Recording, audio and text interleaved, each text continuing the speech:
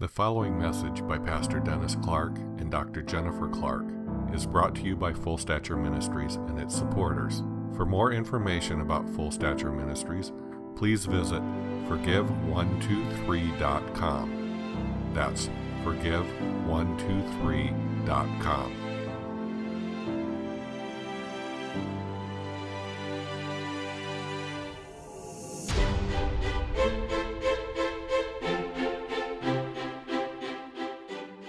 Today's message is part two of trembling at God's word.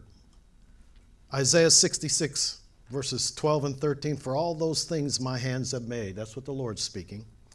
And all those things exist, says the Lord, but on this is the one that I'm going to look on him who is of a poor and a contrite spirit and who trembles at my word. It's who's the one that really honors me? And we shared last week that I was reading Malachi and it really hit me. I was thinking, gee, uh, they weren't being blessed because they didn't tithe. And then I looked at it again. I'm going, oh no, in Malachi, they tithed. They gave the blind, the lame, and the rotten food. oh, they gave. But there was an attitude of the heart that was missing. And God basically told me, even when I was a young Christian, He taught me to tithe. It wasn't comfortable at first. It was like, oh my goodness, that's a lot. but after I tithe, God said, that's nothing. What I want you to do is maintain a generous attitude because its attitude will determine your performance. And you can do something grudgingly and you can do something cheerfully, right? But God said, this is the one that I'm looking at. I'm looking at a heart. I'm not looking just at the outward action. I'm looking at the motivation behind that outward action. And so, uh, what I wanted to cover today is something that we're writing. Our, our book will be out in 2019. I noticed it's already on Amazon, but we're not done yet. Uh, uh, on breaking soul ties. And what I wanted to really cover was uh, we finished up part one of Trembling at God's Word with four characteristics of a meek person. And by meek, I meant one who accept God's dealings as good and without despite, you know, disputing or resisting. That's actually linked to a word called humility, meekness and humility. Uh, without disputing or resisting, means that there's negative circumstances that come into your life and there's temptations that come into your life and they're tailor made for you. If you see the same old temptation, guess what? It's a blessing in disguise telling you this is what you need work on, or it wouldn't be repeating itself over and over again, right? You could actually say, hmm, we used to say that about emotions. Emotions are your friends. They're telling you that Jesus isn't ruling right now, right? Anger, hurt, fear, lust, guilt, shame. Jesus isn't ruling. There's something drawing you away. And if you will yield and surrender to Him, He's the only one that can take that pain, take that grief, take that anger, etc., etc. So, I'm looking at this qualification and I'm looking at these four, four elements or characteristics of those people. This is what we concluded with last, in the last message, is four characteristics of those that are meek. And these are the ones that God's going to look upon. So we need to say we need to be inspiring ourselves to move forward in that direction. But the first thing is approachable spirit to spirit. To be approachable spirit to spirit means you don't have walls. People that have walls up, when they meet you, you don't touch them spirit to spirit. You touch the persona of what they want to convey. And it could be a false face, it could be an image that they want to project, not the real them. Hmm? That's why I'm saying, girls, when you're if you're single and you're dating somebody, you get to know how they behave in real life, not on that first date when they're putting their best foot forward. You need to say, Do you have a job? Do you you need to ask questions. Do you still live with mom and dad? Are you in debt? Uh-huh. Is that your hair? Guys, I want to see you without makeup. See her, I want to see what she looks like without the makeup. You need to ask a lot of questions, don't you? Huh? But I looked and I says, to know somebody by the Spirit is so much better than the facade. And actually, you have a capacity because you have an anointing that abides within where the Holy Spirit will teach you to know by the Spirit, not according to the flesh. But you have to die to that, you have to die to that right to judge. You know, many, many mistakes are made by judging first appearances. Judgment is an observation, discernment is the motive. And true spiritual discernment that every one of you has, if you develop it. Most people don't develop it because they trust in what they observe. And by the way, they enter into what is false discernment or suspicion. And you can sow suspicion into people's lives based on your opinion. An opinion can be full of suspicion and bad seed, but discernment knows the motive. Now, I used to know a lady in my church that I felt like in my first pastorate, I felt like if I said something stupid from the pulpit, she would know me more by the Spirit and say, Oh, I know what he meant. That's somebody that knows you. The one that goes, Well, I, I never, I can't believe they said that. They probably don't know you by the Spirit. They probably just know it by content and coming through their own prism, right? I even had a friend once, he said, I say a lot of stupid things, so when I do something stupid, they think I'm just acting stupid. That's a facade. But listen, the characteristic internally is to be able to contact the person's spirit to spirit. And when I was a young Christian, I didn't even want to know that because I felt the duplicity that was coming from people. And I had a hard time believing it was a gift. It was like, I've got enough issues of my own. I don't want to know when someone's not real. Hi. Hi, Pastor. I love you. And then it feels like, it's like, I don't want to know that. And God says, it's not about you. It's about you learning how to properly respond to that that person's trying, or they wouldn't have bothered even saying that. Now, they might be trying in the flesh to manipulate, they might be trying in the flesh to not hate you, they could, it could be all kinds of things. But you have a responsibility before Almighty God as a believer to respond properly. And I learned from that time on, it's how you respond. It's not what someone else is doing, it's not what someone else is saying. It's how do I respond to someone else doing or saying something good or bad.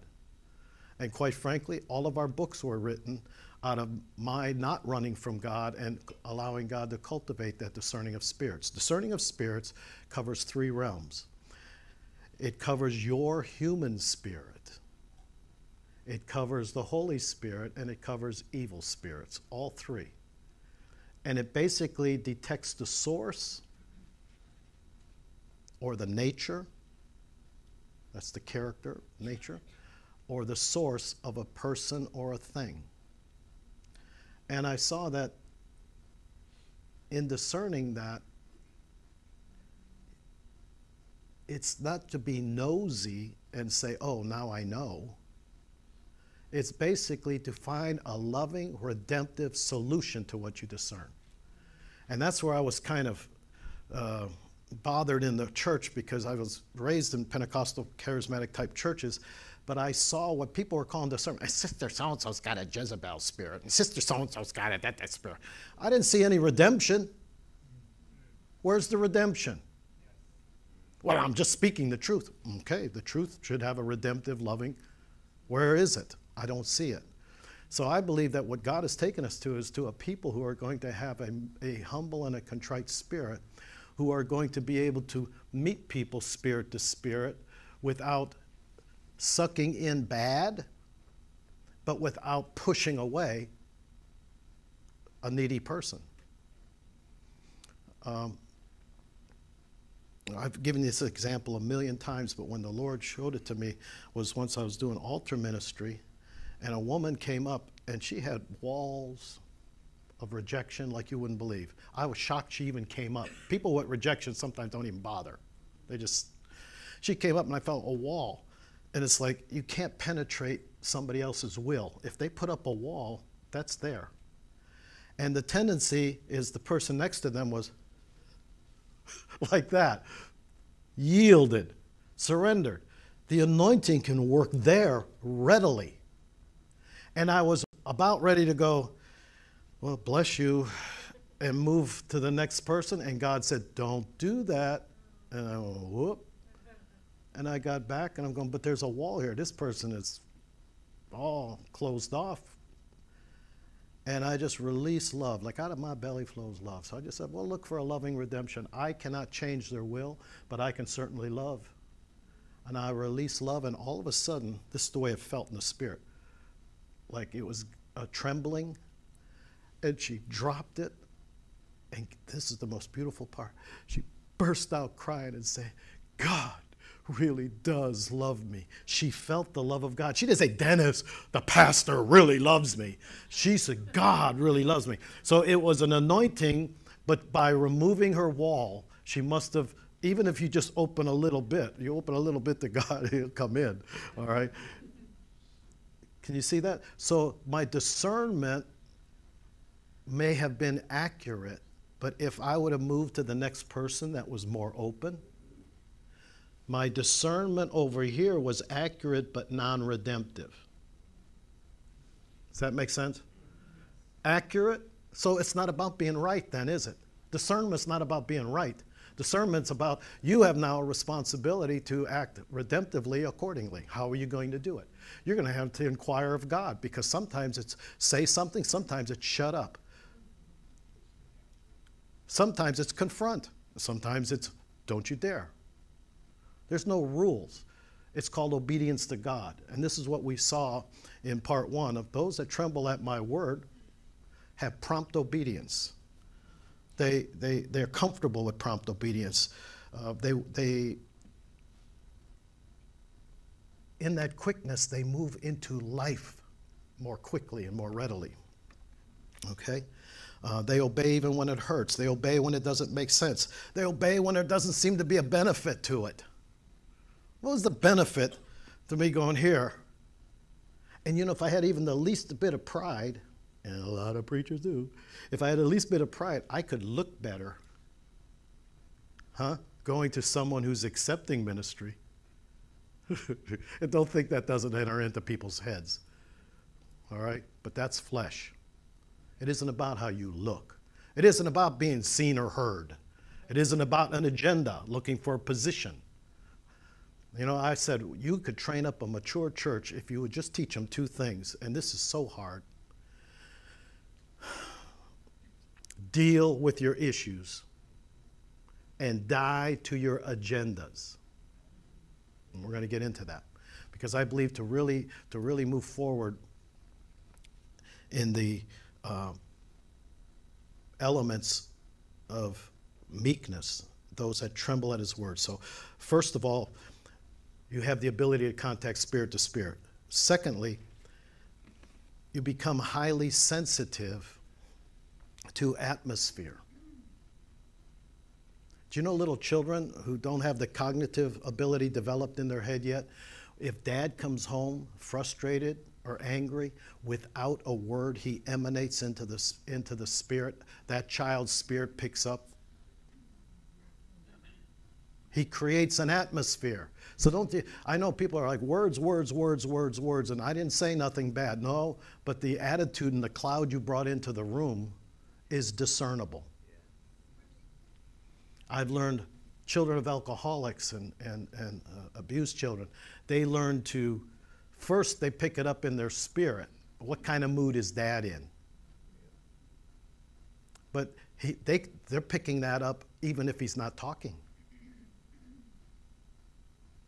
And I, one of the most important, matter of fact, it was Kimball Knight, wasn't it? We were doing a conference with uh, oh, several big names in, in Massachusetts. And, uh, and Kimball Knight really got a kick out of what we were doing, so he, he was doing it in his meetings too. I said, You can fool people with your words and you can fool them with your body language or gestures, but you cannot hide what you emanate. And that you can do it. You can do it right here. You can worship. Of course, we worship with words, all right, because that adds specificity. But you can worship. As a matter of fact, this is the way God took me to the school of the Spirit is because you're so word oriented and talking oriented that you miss out on the best part of his presence because most supernatural is too quiet for your thinking. You're too busy thinking and talking. Some of the most difficult people to minister to is the ones that come forward in a line and are going, because they're giving at a time when they should be receiving. It's the same way with prayer. What God had to do is take me, a talker, and teach me to sit still and touch Him spirit to spirit. And in that touching of that spirit, you don't talk until you have something to say. A lot of people like to talk just because they have nervous energy and their flesh really has never been weaned. Say that word back to me weaned. Your flesh needs to be weaned. What does weaned flesh means? It means you have to learn to sit still, and many of you can't. You've got to learn to not talk, not think, but commune spirit to spirit. That's part of growing.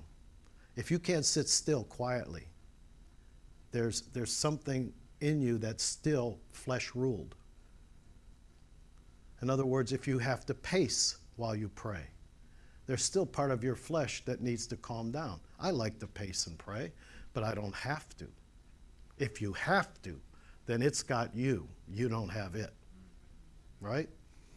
So, spirit to spirit is the first step, but this is the one that I'm going to look upon. And God took me to the school of the Spirit through Isaiah 50, verses 4 and 5. He basically says, I'm going to awaken, I'm going to give you the tongue, that's talking, teaching. I'm going to give you the tongue of a disciple. Well, I want that. I want to be a teacher of the, of the Word of God. That's what you call me to. I'm going to give you the tongue of a disciple so that you could speak a word in season to them that are weary. In season to them that are weary also means has to do with timing, doesn't it? In season. There's times when you need to shut up, and there's times when you need to speak. But he says, I'm going to awaken your ear to hear morning by morning. Now, wait a minute. You were going to give me the tongue of a disciple, but you're telling me I have to listen first. And I can remember how that worked, how impatient I was. God would give me a word like, there's a river. And I go, there, and then I would interrupt him and preach everything I knew about river. I was entertaining God, I guess. He said, there's a river, and it had life on it. And as soon as I felt that life, I thought I had to talk. I felt life, so it must mean I got to talk. So I said, There's a river that makes glad the city of God, and, and I'm going to, and, and the anointing decreases. Wait a minute. What's wrong with, what did I do wrong? I got still again and the anointing increased. Oh, I guess God wasn't finished talking yet. And you know what?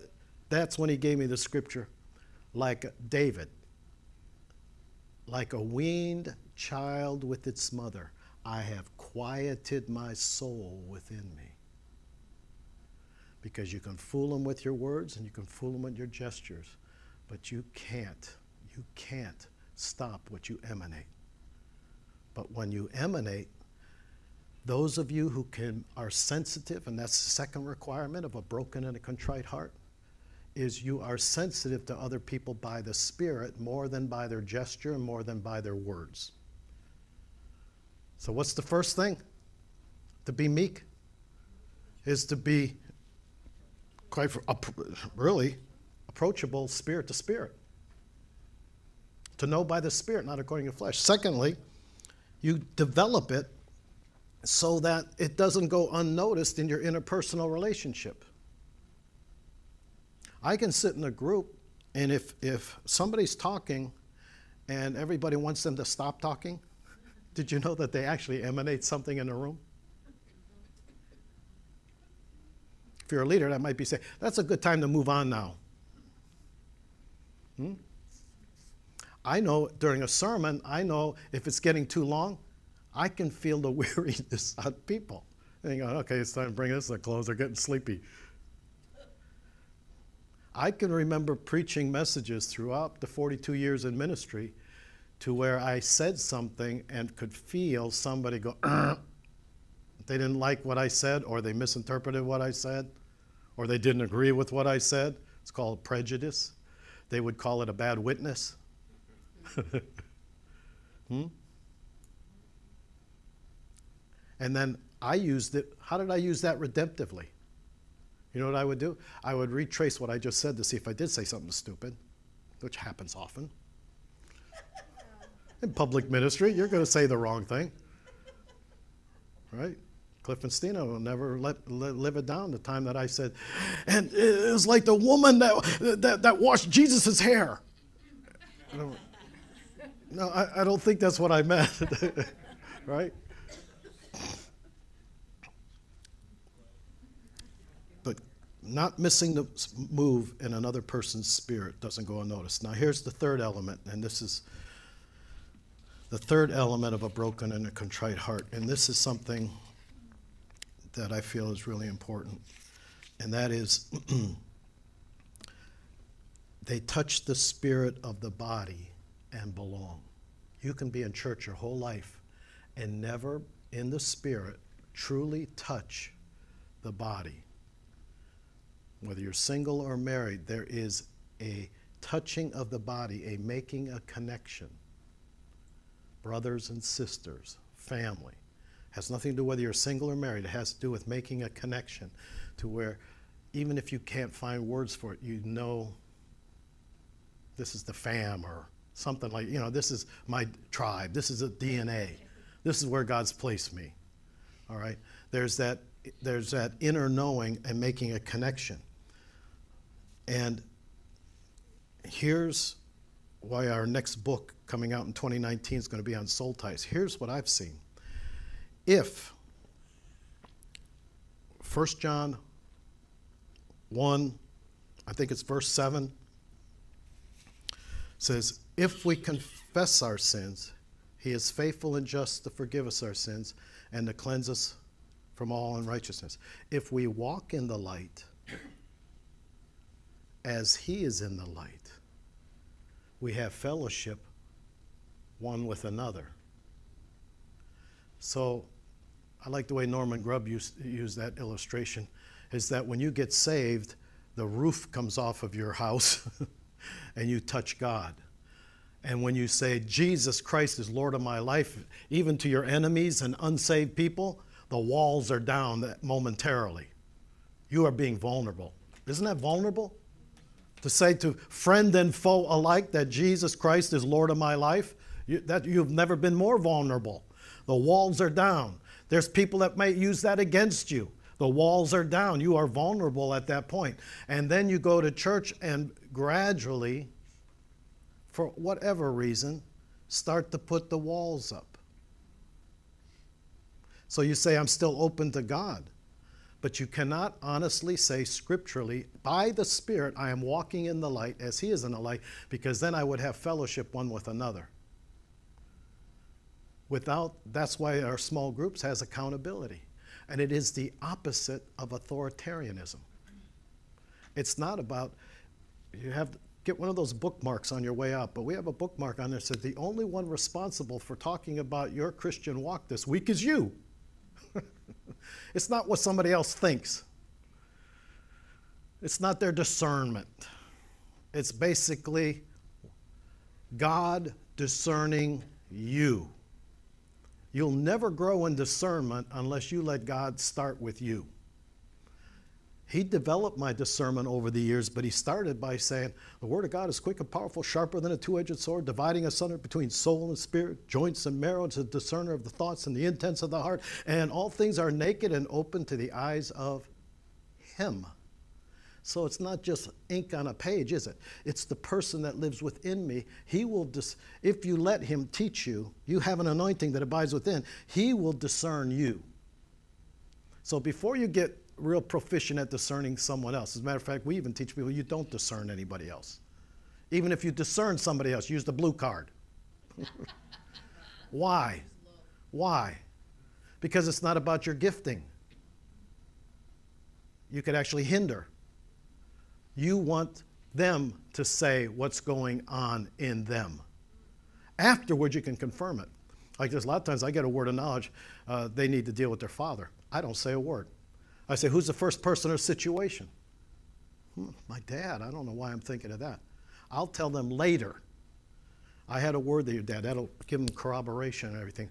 But I don't need. They otherwise they're going to need me to tell them. They're going to need me to give them a word. They're going to need me to be the source of grace. When in reality, you're equipping the saints to do the work of the ministry to go to Jesus within them. Amen.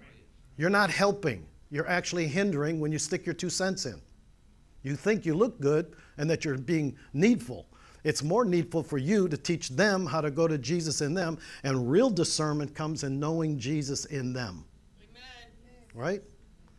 Now, if you move into that realm to where you're getting more and more sensitive, you're getting sensitive to what's going on in you, you're going to walk in peace more often than not. When you're walking at peace, you're also then going to perceive the atmosphere around you. If you're not at peace, you don't know what's going on. I, I, I basically this sounds kind of, I don't know what it sounds like, but it's the truth. I don't listen to a lot of people's discernment because I'd want to be right there and feel the atmosphere. People tell me, I had a dream about such and such. Well, I don't know in that dream whether you were feeling the joy of the Lord or whether or not you were in fear. It makes a big difference to me as to what's the source of the dream. I don't want to interpret the dream just based on content. I want to base it on the source, the source, the source. Did you know there's even places in Scripture, getting back to this, there's even places in this where the actual word in the Greek could mean source. Remember, God is the head of man, man is the head of woman. Can also be the source. God is the source of man. Hmm? Man was the source of woman out of Adam's rib. It doesn't necessarily mean a hierarchical authority structure. That's your free part. That's, that's the purpose of that is to ruffle feathers. So it's easy to contact spirit to spirit in our relationship with God. We can sit still, we can wean our soul, like a weaned child with its mother. Secondly, we become sensitive to what's going on in us. Can you see the value of the small groups, even? Teach people how to find out what's going on in them because you'll run into people, I haven't had a feeling since 1948. Okay. That's because you've been so good at suppressing most of your life. But what gets suppressed will get expressed. Don't tell me you don't have meltdowns occasionally. Don't tell me you have temper tantrums occasionally. Don't tell me you don't have emotions. You don't have any good ones, maybe. That's what you're saying. Huh? Let's get you some good ones. The fruit of the Spirit is the way God designed us for. That's why He gave you emotions, for the fruit of the Spirit to be experienced. Now, I had some uh, buddies that were faith people, but it, it was almost amusing. They had the joy of the Lord by faith. By faith. They're going to tough it out by faith. I'm going, you look so miserable. I don't want that kind of faith. My faith is a confident inner assurance that I got it. And that's acting a whole lot different than you're acting with, I got the joy of the Lord by faith. That ain't by faith, that's hope. that's wishing. now, this third element is to touch the spirit of the body. To touch the spirit of the body means that you can connect in a healthy way. But here's what we saw when we traveled we saw, again, people that could not connect this way. That the, part of the reason they couldn't connect this way is they already had soul ties with either a person, place, or thing, which is idolatry. Say that word back to me idolatry anything that's more important than Jesus can be idolatry, and it can be something good. It can be An education it can be your children, it can be a husband or a wife. You can make an idol out of anything, out of a place. We saw a lady basically went downhill because her idol was, but I want to have a house on the beach. You know, God will give you sometimes, you can make a way and make stuff, certain things happen. God will give you that house on the beach, but He can also put leanness into your soul. But you want what I want, and I want it now. You can do that with a man. I need a man. I need a woman. I need kids. I need this. You can make an idol out of anything that is legitimate in and of itself. And you can have there's sexual violation, there's romantic sexual involvement, soul ties, there's parent child. They call it parental inversion or substitute mate. Uh, uh, child can be born, and the man or the woman literally put a wall up against their mate. And even though they wouldn't consciously call that their mate, make that child everything that they needed. And if they get older, then they, they make, uh, a woman can make him her husband. The man can make that, that, that, that daughter to the point of idolatry become like a wife, even without sexual connotation. It's idolatry. This is why we have in the scripture, for this reason a man shall leave his mother and father Ah. So there's healthy leaving and there's healthy cleaving. And many people cannot build solid relationships because they've got a soul tie with a person, place, or thing, or idolatry. And so I really believe that what we're going to see in the days ahead, and it is our next book, Breaking Soul Ties, that we're going to have to find how to deal more effectively with this. Because in 1 John, if we just use 1 John the epistle as a, a guideline. We walk in the light as he is in the light. We have fellowship one with another. Okay, we're making connections by the Spirit, the way the Spirit wants to make connections, not by our neediness making connections. And if there is a pull in the wrong, unhealthy way, a soul tie. Matter of fact, everyone that's ever that I've ever prayed for, especially uh, I, I, keep thinking of the, uh, some young girls that were teenagers, that when they got set free, I loved the way they explained it. They said, I'm in a bad relationship with a guy. I know it's a bad relationship, but I don't want to hate them. That sounds real Christian, doesn't it? But I can see the reasoning. I don't want to hate them and push them away, but I don't want to be with them. I know it's wrong. When they finally gave their emotions to God under the lordship of Jesus and, and released them properly, here's what they said I don't have to hate them, but I don't feel the pull. That's when you know you're free. I don't have to hate it or work overtime pushing away. Although you do set boundaries are okay. You need to establish boundaries. And quite frankly, uh, birds of a feather flock together. If you've got bad relationships, you're going to hang with bad relationships. You're going to you're going to be a product of bad relationships. You can say you're being redemptive, but I've watched too many people go down the tubes in the name of redemption, and I didn't see any redemption.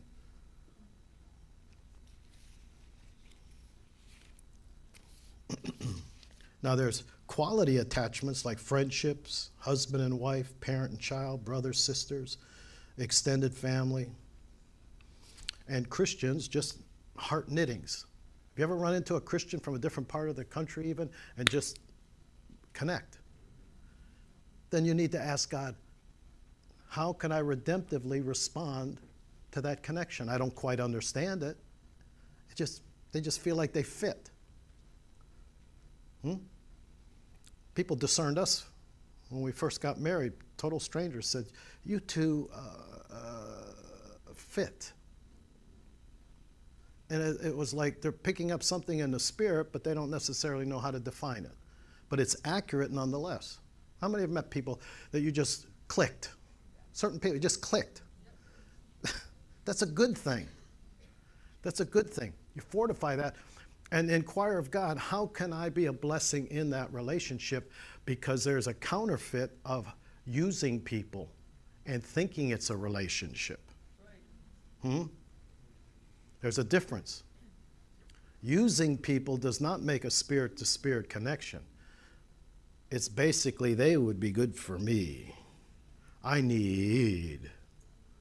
Matter of fact, that was always in premarital counseling as a pastor. That was always my, that was always my, oh dear oh Lord, I hope they don't say that.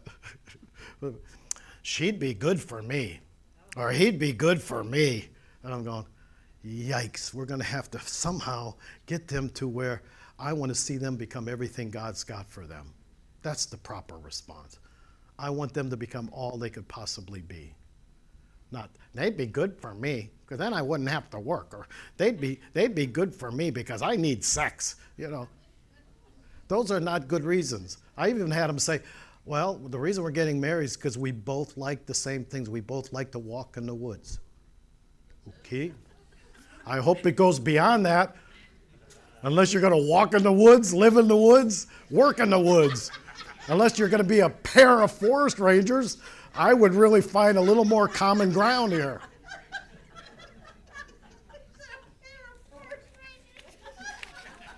Now, now, when we do our television taping, I will try not to be so funny so nobody laughs. But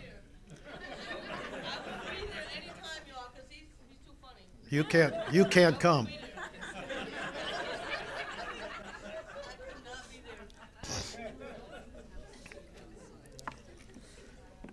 But here's, if we just use 1 John, that little epistle of 1 John, you walk in the light as he is in the light, you have fellowship with God and with one another, healthy relationship. But it's all of 1 John is basically summarized with love, love, love, love, love, love, love. And the very last sentence is Little children, guard yourself from idols. Why, why, why would that, after going love, love, love, love, love, love, love, love, love, why would the end verse, the last verse, be Little children, guard yourself from idols? Because you can make an idol out of anything. Love gives, love frees. And here's the reason I also feel small groups and accountability is, is part of it. When God taught me intimacy, and it started with shut up and listen. Sit still, don't talk. Don't move around, don't write, don't read. Sit still. That was not easy for me. I was a hyperactive kid. But it was the greatest lesson in the spirit because most supernatural is too quiet for your flesh. While you're talking, you miss what, a lot of what God's saying. Hmm?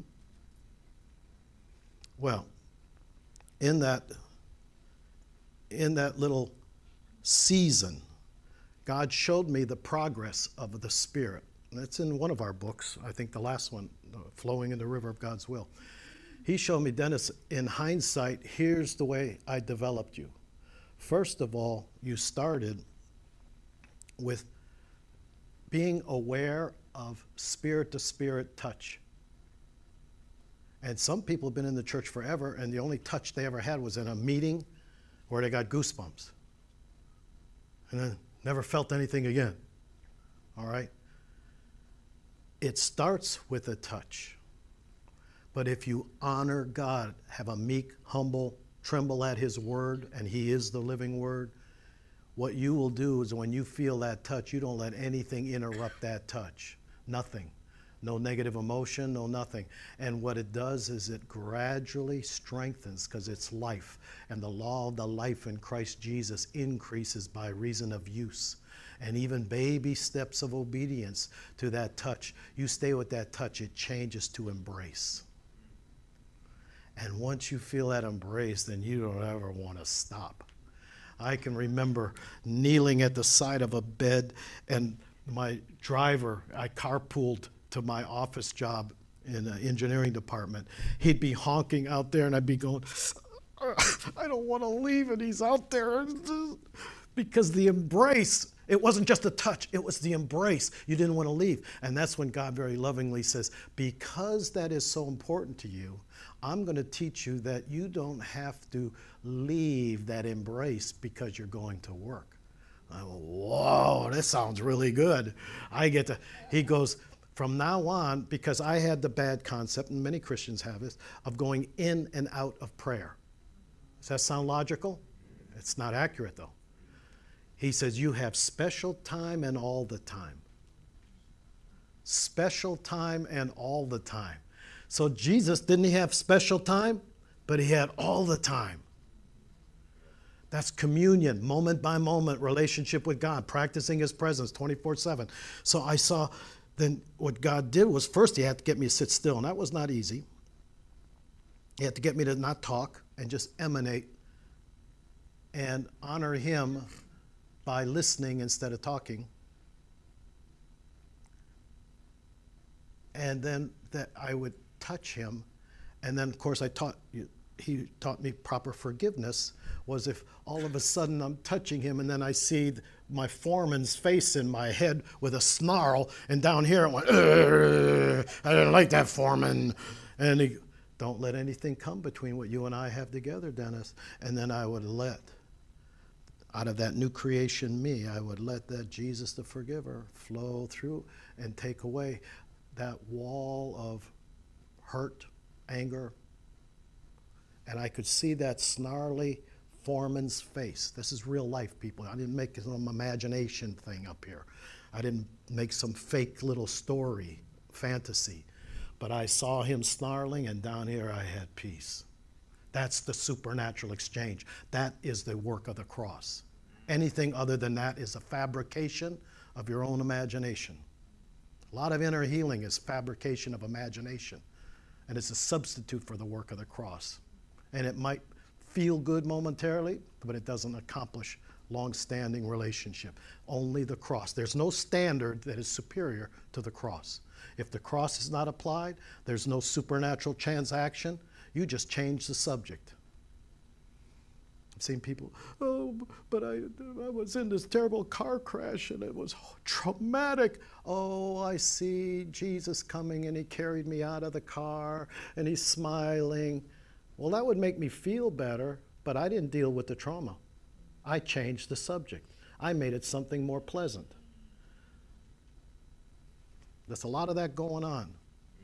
But there's no substitute for a genuine work of the cross. No, you don't need to see that foreman smiling.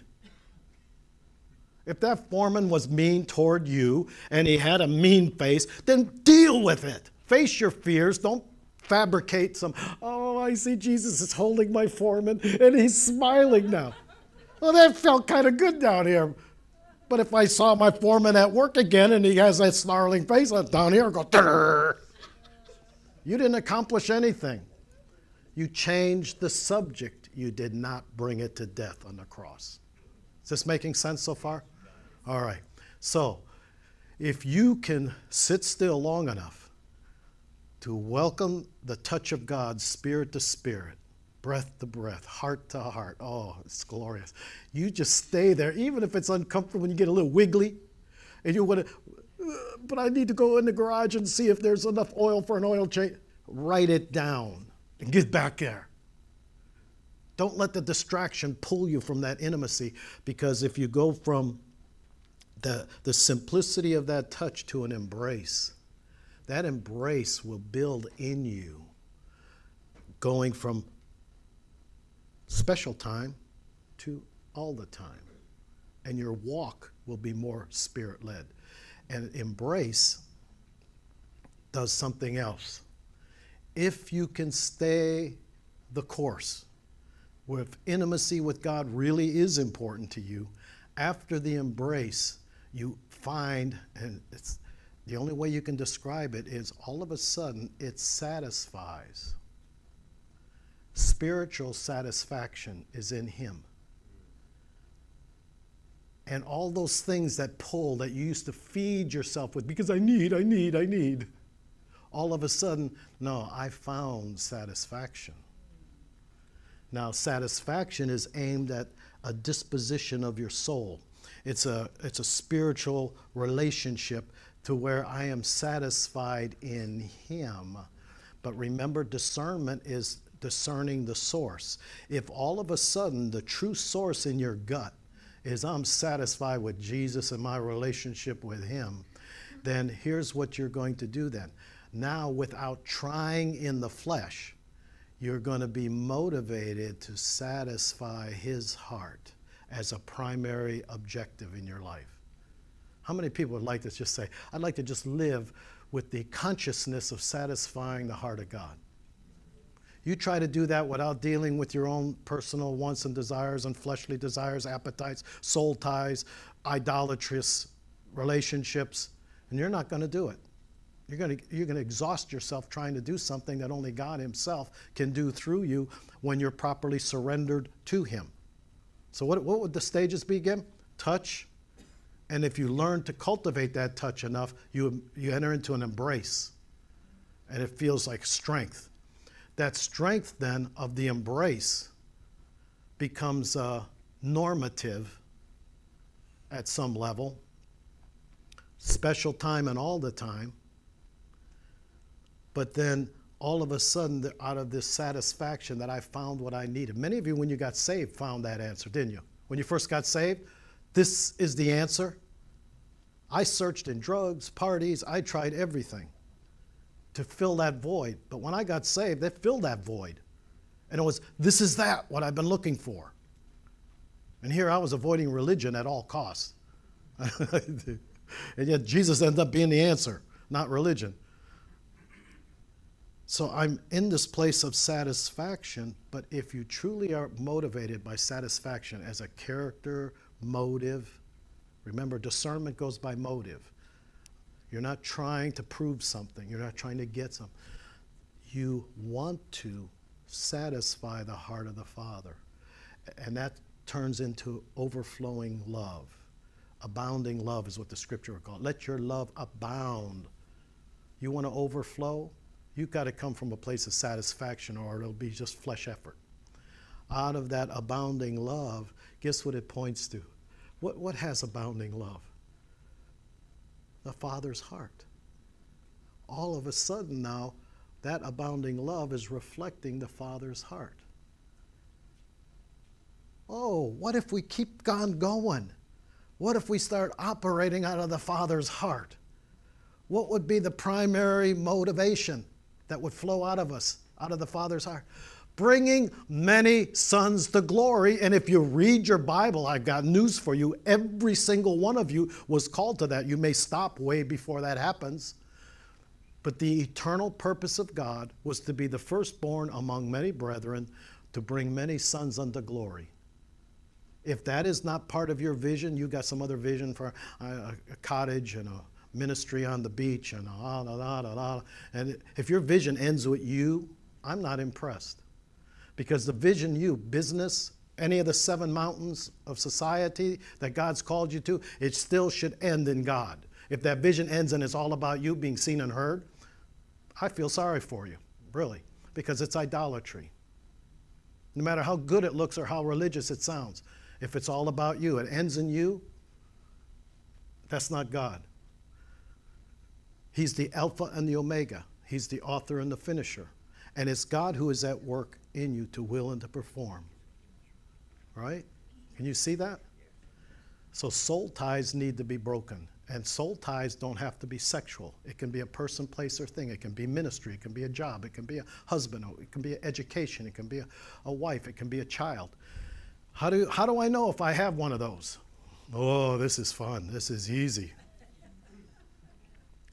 When I close my eyes, ask the Holy Spirit to search your heart not somebody else search your heart. You let the Holy Spirit search your heart. What can I not let go of? Father, right now, by the power of the Holy Spirit, and those watching by Ustream, YouTube, those that are watching by video, get quiet right now before the Lord. Only takes a moment. Not, it's not about you figuring anything out. Don't figure anything out.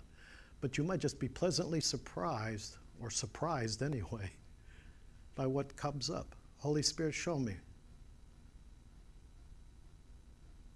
Any person, place, or thing. And no matter what He shows me, who He shows me, or what He shows me, right now. Okay, there's, uh, and I'm getting a word, so that must be more than one person. I'm getting a job that some have made an idol out of family. Let's release.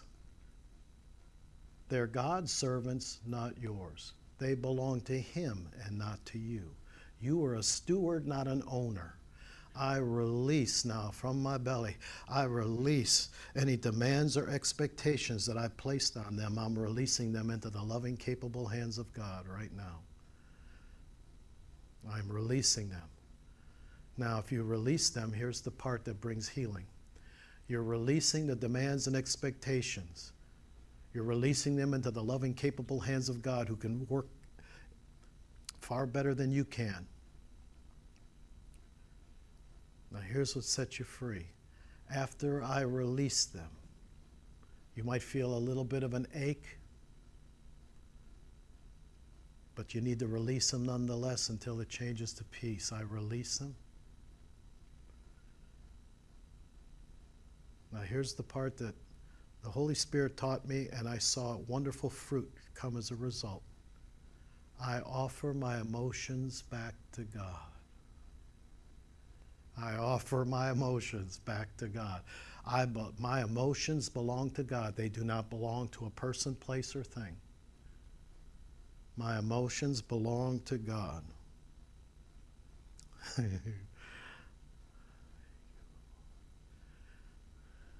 I don't have to dislike what I released.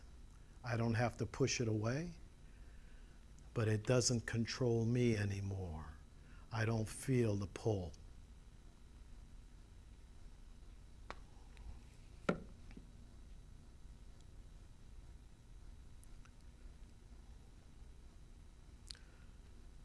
How many saw something specifically? I'm not going to ask you what it is, but raise your hand. Saw something that was a little bit tough to let go of. Good thing, even in a lot of cases. If it's a bad thing, it's obvious. You need to let it go.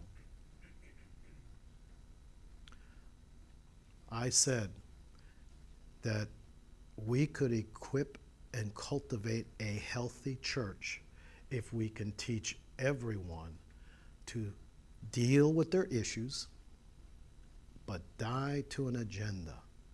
Because agendas are deceiving. You'll call it your dream, you'll call it a goal. Did you know every goal does not necessarily point to God? Every goal does not lead you into true north. Are you saying not to have goals? Not to have? I'm saying you basically need to set goals to establish the purposes of God. But you need to know what the purposes of God are for your life. And you've got to want it with a pure heart. I think we can, we can coerce a generation of people talking about their dreams and pursuing their dreams when in most cases they're not necessarily a God dream. You're doing them a great injustice. God created a plan for you before the foundation of the earth. He prepared works for you to walk in them. Wouldn't you rather walk in them than your own plan, no matter how glorious your plan looks? If we could teach people to deal with their emotional issues, and get back into lordship and die to their agendas, you would have a healthy congregation. You would have a healthy family. And you would be free. Here's the downside the downside to soul ties is you do not see the provision that God has for you because you're attached in the wrong ways. If you're attached in the wrong ways, God can send you the right people and you'll never see it. They can be right in front of your face, but you'll never realize that that was a God ordained divine appointment because you're already connected in an unhealthy way to a person, place, or thing. So, can you see why 1 John says, Walk in the light as he is in the light? Keep the walls down.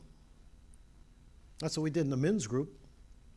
We just basically talked about ourselves, but basically there's there's there's successes and there's failures, and and we learn to pray through them. But if you keep it in the light, guess what? You are already stronger. You're already stronger. Because God moves relationally in the light as He is in the light. You have fellowship one with another. We want to skip this part. How many, how many of you know people that, are, that would consider themselves quality Christians, but it's just me and God, me and God, me and God? And that's deception. If you walk in the light, it's got to be this way too. If you don't walk in the light this way too, that's a bunch of baloney that me and God got this great relationship. I just don't need Christians. I'm a surfboard Christian. Just me and God and the surfboard. That's all I need. I don't need those other people. And actually, my eye opener as a baby Christian, where I could feel God grieving, I said, God, it, it, those of you who learned simple prayer, you learned that this is the way I learned it, was basically, God, I want your thoughts and how you feel and what you choose mind, will, and emotions. I want your thoughts, how you feel, not what you choose. And I went to church, a little Pentecostal church, and, and the people that couldn't get along with anybody were constantly telling me how much they love those, those missionaries in Africa. I'm going, did you ever go to Africa? No. Did you ever meet them in Africa? No. So you love these people you don't know, but you can't get along with anybody in the room. I'm not impressed. Think I love the people they never saw. You never had any interaction. No, the real test of love is learning to love your differences, even, and navigating differently with different people.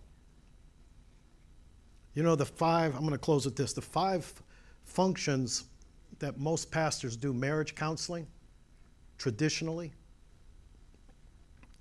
And by the Spirit, I think I always knew better, but it was the role of the man, the role of the woman, finances, sex, and in laws. and don't think that isn't hold true. I got too many years of ministry. I've seen all five of them become powerful obstacles to relationship. In laws. That's why to this day I said I'll marry somebody, but I don't do I don't do I don't do I'm not a wedding planner. Because I watched in-laws come in. I go, oh my goodness, we need all these people need saved first. All right? But as far as the role of the man and the role of the woman, I did not teach traditional roles. I didn't even like that word role. What I basically said, man, know what your temperament is. Woman, know what your temperament is. Learn to love each other's differences. Learn how the other person operates. Love their differences and get into a place of mutual respect. Then We'll deal with the sexual issues, then we'll deal with your finances, and then we'll deal with your in laws. In some cases, don't, under, don't minimize in laws. Because for this reason, a man shall leave his mother and his father to cleave unto his wife. But sometimes they don't want them to go. It's idolatry. That's what I'm saying. Single ladies, got a boyfriend? Find out if he's still living with mom. Ask him if he's got a job.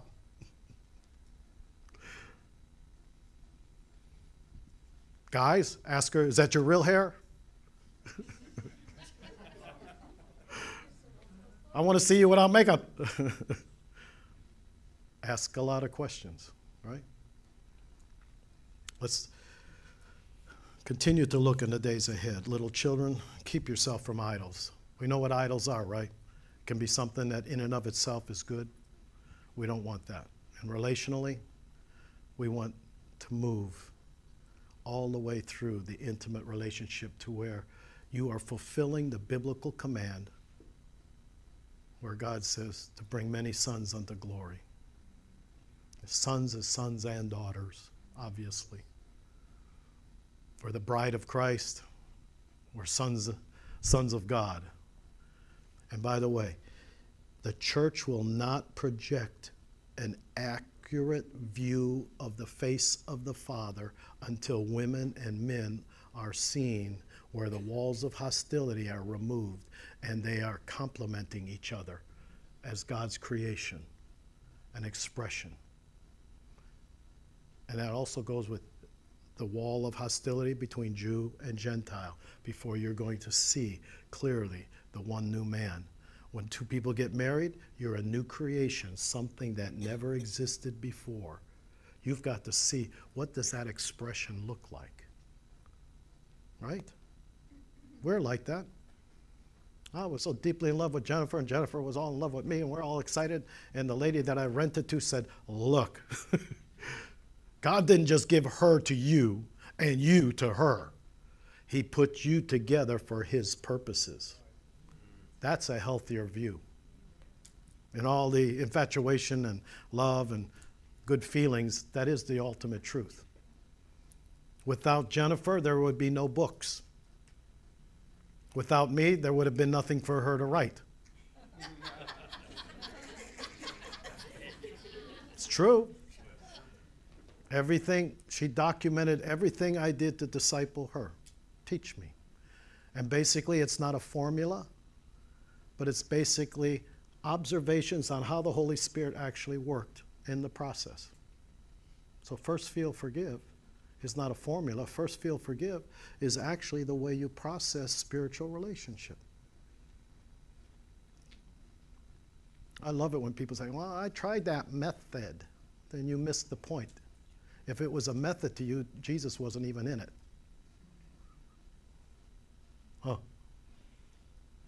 Because it was basically a flow of the way the Holy Spirit operates on a consistent basis. Amen. Well, do you feel charged, influenced, encouraged, guilty? No? no condemnation? Oh, okay, good. So, Father, we just thank you that you who began a good work are continuing that good work. And that we're going to move in the love of God, but we're also going to beware of idols. Beware, little children, of idols. And we're going to move from from the child stage of relationship and intimacy. We're going to move. Here, just close your eyes and just do this in closing. This is fun. God, I feel your presence right now in my spirit. I'm touching you. I'm welcoming that touch to be maintained as an embrace. And when this service is over, I'm going to be aware that we are connected and that I don't walk away from that connection, but I do walk and I do things and I go places and I relate to other people, but that connection is maintained. As that connection is maintained, I'm going to find greater and greater satisfaction in life. And from that place of satisfaction, because I belong, it is a belonging. And because I belong to you, I've got a lot to give. So I can focus on satisfying your heart without effort. And as it flows out of me, it will overflow and increase. As He is to us, so are we in this world, overflowing. And as we overflowing, we get more and more of the Father's heart. As we move more and more into the Father's heart and His perspective, our goal in all of our vision will be to bring many sons unto glory, to bring sons and daughters, spiritual family as well as natural family. In Jesus' name You've been listening to Pastor Dennis Clark and Dr. Jennifer Clark of Full Stature Ministries at Forgive123.com. Full Stature Ministries reserve all copyright protections under applicable law.